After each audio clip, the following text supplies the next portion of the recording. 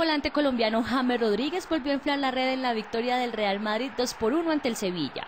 Su anotación tuvo sabor agridulce, ya que al minuto 27 de la primera etapa sufrió una lesión. El club merengue a través de la página web así lo confirmó.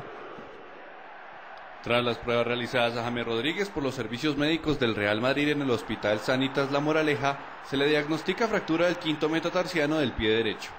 El jugador será sometido a una intervención quirúrgica en las próximas horas. El asesor médico de la Casa Editorial El Tiempo, Carlos Francisco Fernández, asegura que el colombiano estaría como mínimo de baja por cuatro semanas, pero se espera un parte médico oficial. Asimismo, aseguró que es una lesión muy común en los jugadores. Sin embargo, en los medios españoles informa que la recuperación sería mayor. As.com titula. James estaría dos meses de baja por fractura en el pie derecho. Mientras tanto, Marca.com titula. Fractura en un dedo del pie derecho. James estará dos meses de baja. El colombiano a la salida del estadio Santiago Bernabéu se veía desanimado tras la lesión.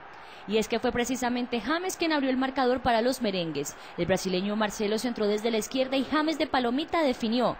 Sin embargo, al minuto 27 del primer tiempo, el 10 del cuadro blanco salió de la cancha para ser atendido por los médicos del Madrid por un golpe en el empeine del pie derecho.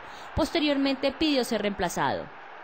La lesión de James Rodríguez junto a la del defensa Sergio Ramos, quien también fue sustituido por una molestia el minuto 8 del partido, preocupa al Real Madrid, pues además enfrentará el próximo sábado al Atlético de Madrid en la fecha 22 del torneo español.